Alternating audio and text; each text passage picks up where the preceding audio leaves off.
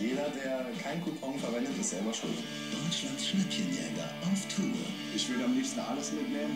Wenn die Preise sowieso schon günstig sind, dann nehme ich einen Coupon dazu und spare dementsprechend noch mehr Geld. Ich würde bei 25 anfangen zu handeln. Manchmal gewinnt man immer manchmal verliert man. Trödelboom und Schnäppchenjagd. Dienstag, 20.15 Uhr.